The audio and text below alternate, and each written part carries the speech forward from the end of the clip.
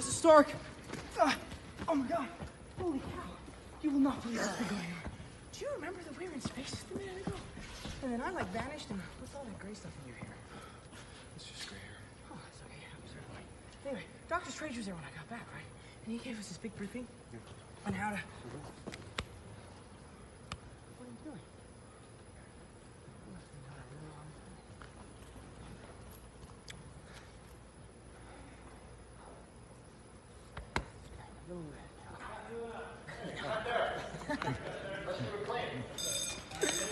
Funny.